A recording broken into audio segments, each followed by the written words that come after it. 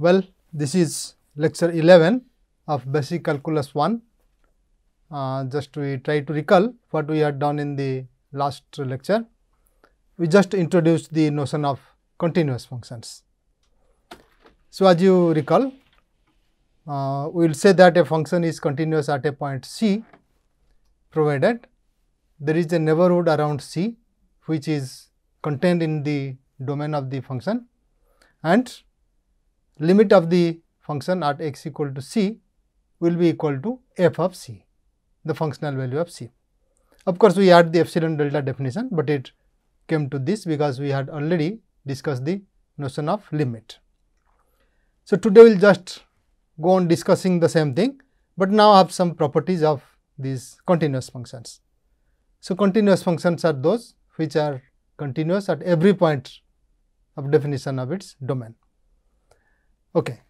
So, once you go to this algebra of continuous function, it will automatically bring things from the algebra of limits as you know.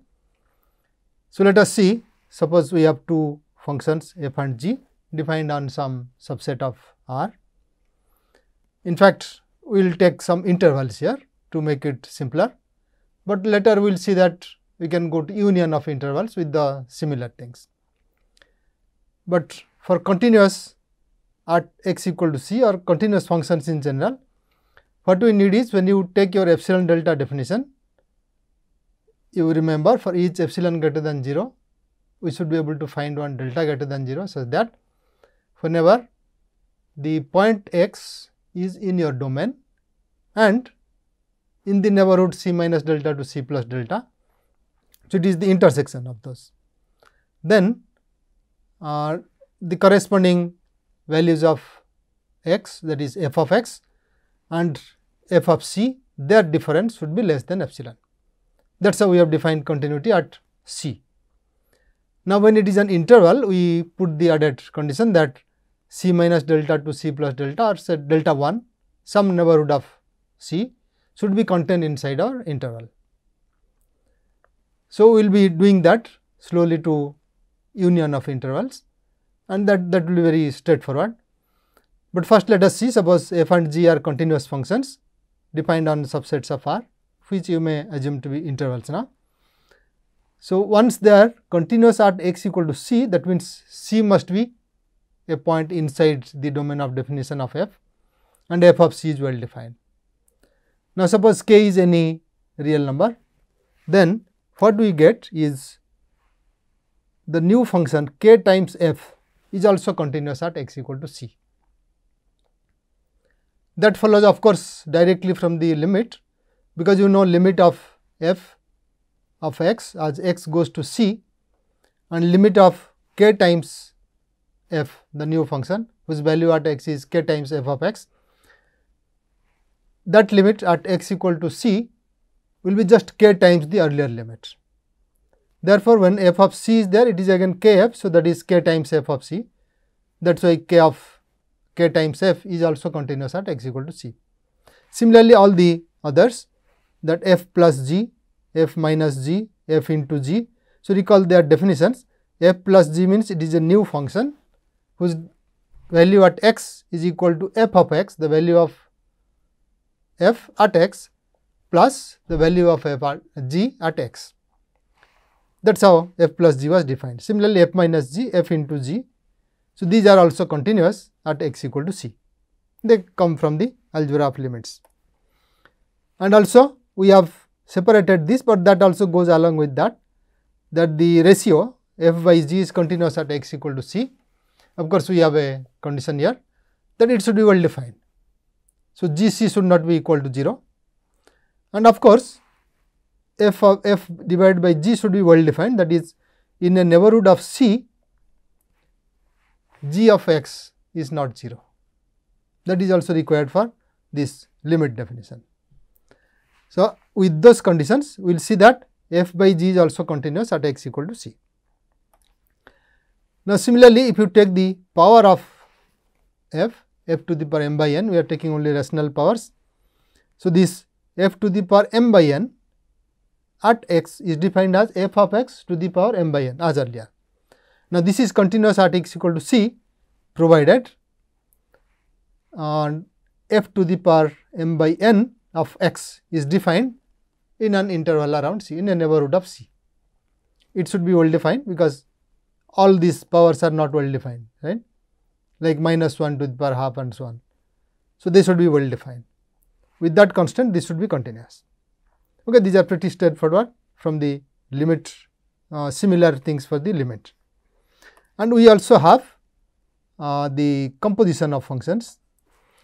So, suppose f is a uh, f is already a continuous function given at c. We have another function which is h. So, it is something like your f is defined from a set and there is another where h is also defined right h is defined to one set.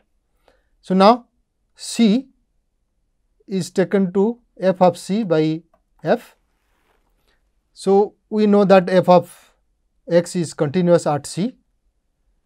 Now, we assume that h a new function which is defined from the uh, range of f at least which contains a set which contains range of f. So, at f of c suppose h is also continuous. Then their composition which is taking the value this h to this. So, that is also continuous at point c its functional values will be here h of f of c. Okay. So, we will say that it is continuous at c because h of f is defined from the first set. So, all that we need is that the conditions of neighborhood should be satisfied that there is a neighborhood around f of c, there is a neighborhood around c and so on. So, they should also be satisfied and this that continuity of h already assumes that. So, it says that composition of two continuous functions is continuous that is how we talk it informally. So, we will go to another result which says something uh, which allows us to uh, take or consider functions continuous on unions of intervals, not only on intervals.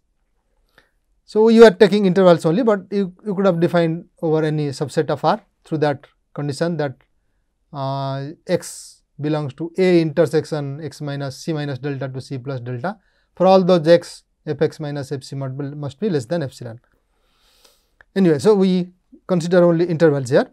Say f is defined on some interval to r, g is defined on some interval to r, then these two intervals do not intersect.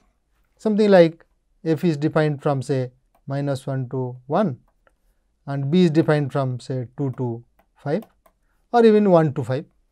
So, this is the new domain of definition. We are defining another function on this new domain that is on A union B. That is why we require that A intersection B is empty. Otherwise, there will be a confusion which f the new function will be taken as f or like g there will be a problem. So, we assume that A intersection B is empty. So, with this condition we define the new function h on A union B by taking h x equal to f x if x belongs to A and h of x equal to g of x if x belongs to B. So, it is something like a join of two functions. Now, if f and g are both continuous, then we would see that h is also continuous, because anyway whenever x belongs to A union B, it is in one of them. So, that function really takes over for your inequalities to be satisfied in the definition of continuity. So, this also will be continuous. We will require this sometimes when you define conditionally a function that will be helpful. So, basing on this we will try to see some problems or solve some examples. Okay, let us take the first one it is easiest one.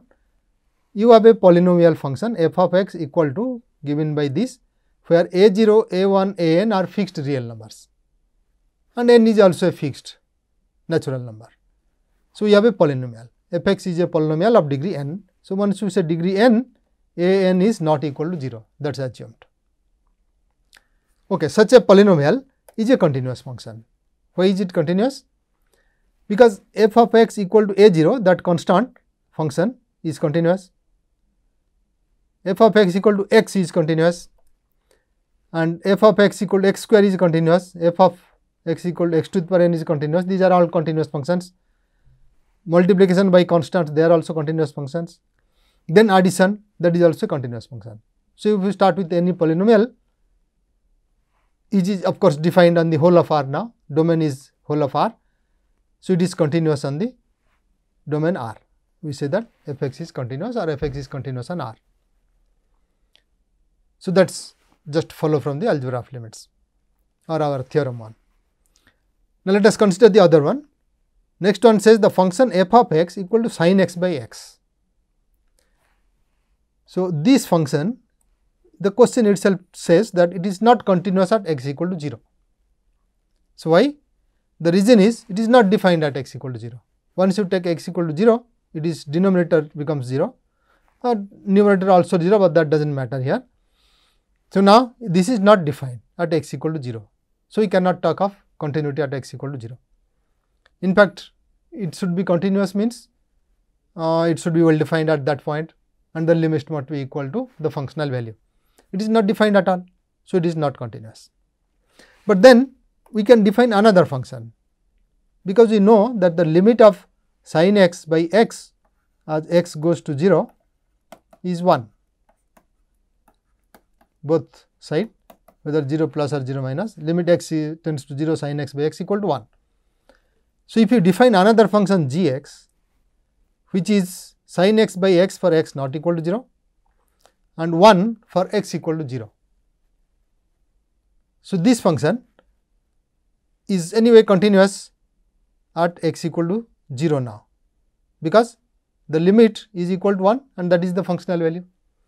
And at every other point sin x by x is well defined and sin x is a continuous function, x is a continuous function. So, that ratio is also a continuous function. Therefore, this function g x is continuous everywhere. It is defined on the whole of R and it is continuous.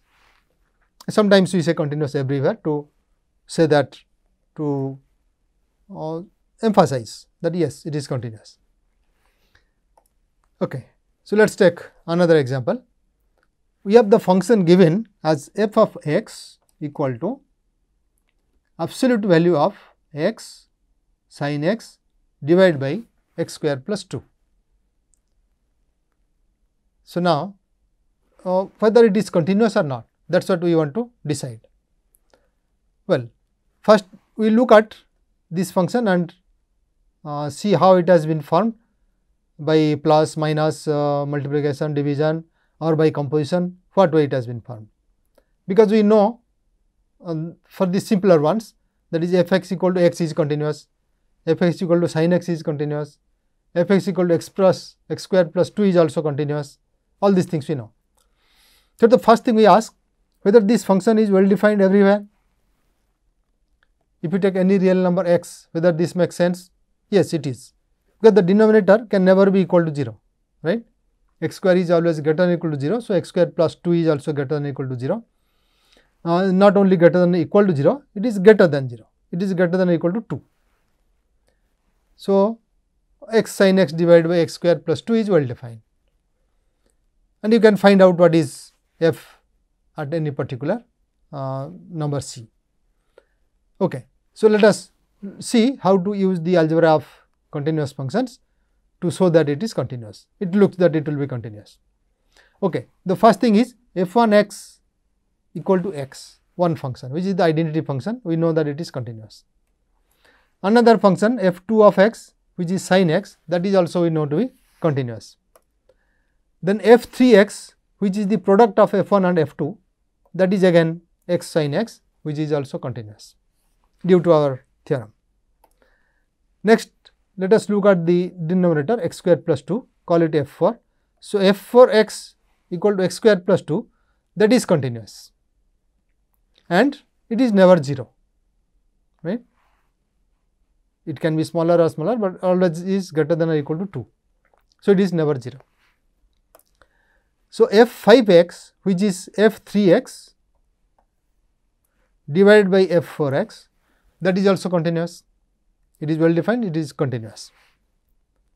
Fine. Now, but we want that modulus of that.